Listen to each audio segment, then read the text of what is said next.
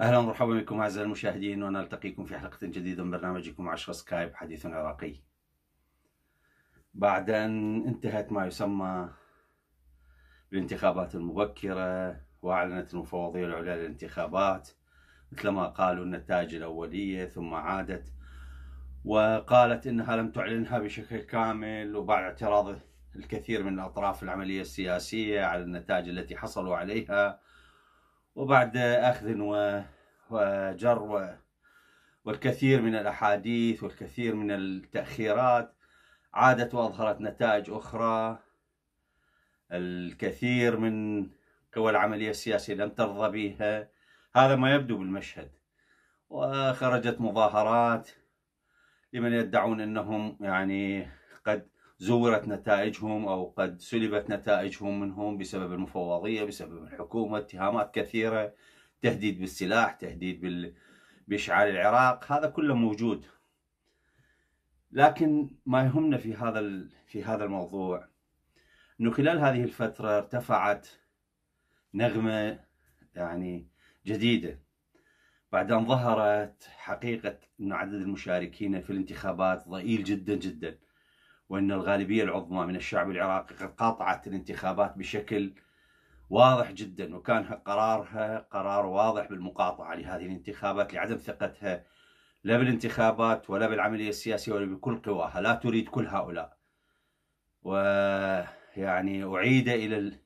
أعيد مرة أخرى إلى الواجهة شعار ثورة تشرين نريد وطن. نريد أن نتخلص من كل هذه العملية السياسية وكل رموزها وكل أشكالها لأن فيها الخراب. هذا ما أفصح عنه الشعب في مقاطعته لهذه الانتخابات. حاولوا التزوير بكل طريقة. البعض الحكومة المفوضية قالت والحكومة قالت وأحزابها قالوا أن النسبة 41 ثم عادوا ورفعوا النسبة بعد أيام إلى 43 و 42 والحقيقة أن النسبة وفقا لأياد علاوي أحد مؤسسي هذه العملية السياسية. وأحد رموزها الكبار منذ عام 2003 قال أنه نسبة المشاركة لا تتجاوز 12% وهذه هي الحقيقة يعني.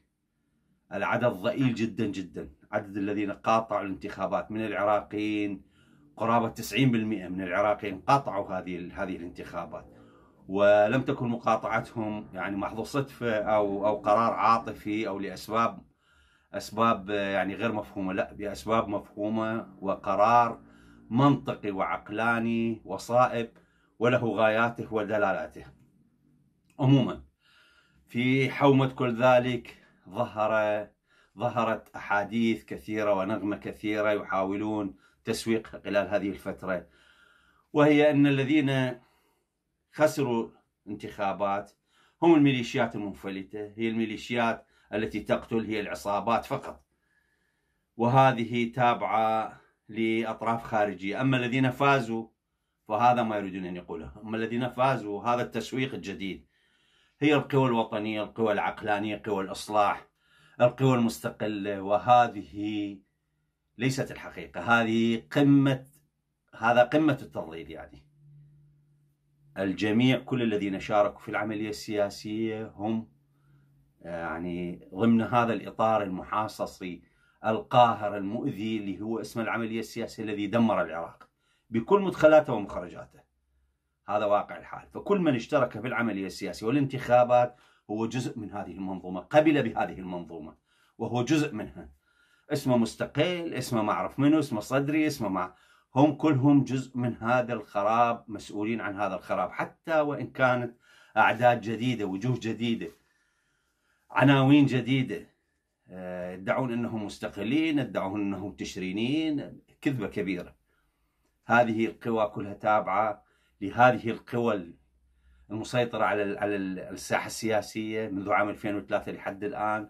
تستبدل الوجوه آه، آه، عملية تدوير لهذه الوجوه بطريقة أو بأخرى للإبقاء على العملية السياسية وخداع الناس. هذه النغمة الآن بدأت تتصاعد. والبعض ربما من الذين يعني يعني ربما بنوايا طيبة ربما ما لا أعرف ماذا. قد قد انخدع ربما أو قد صدق هذه الفرية. صدق أن هؤلاء الذين آه، يعني لم يفوزوا بأصوات كثيرة هم فقط هذه الميليشيات وهذه التي أذت العراق منذ عام 2003 لا. وهذه هي هي يعني هذا الجزء هو المخرب والمدمر للعراق لا لا. هذه ليست حقيقة. الحقيقة أن كل الأجزاء هذه من فازوا ومن خسروا هم سبب نكبة العراق سبب هذه الكارثة. هم الذين حتى الذين دخلوا حديثا إلى هذه العملية السياسية يتحملون هذه المسؤولية لأنهم يعرفون من البداية أن هذه العملية السياسية عملية محاصصة عملية فساد وخراب ودمار ومحاصصة طائفية وإثنية ومقاسمات وتقسيمات مبنية على حصص معينة وهذا واقع الحال. وكل الذين دخلوا استخدموا المال الحرام في دعايتهم في كل شيء واعتمدوا على قوى خارجية وداخلية لتمويل حملاتهم لكي يردونها لهم فيما بعد أضعاف مضاعفة وهذا ما حدث. فبالتالي كل القوى من يدعي أنه مستقل من يدعي أنه يدافع عن الوطن هذه كذبة كبيرة. من يدعي الإصلاح هو جزء من هذه المنظومة منذ عام 2003 لحد الآن. فلا يمكن قبول هذا الحديث.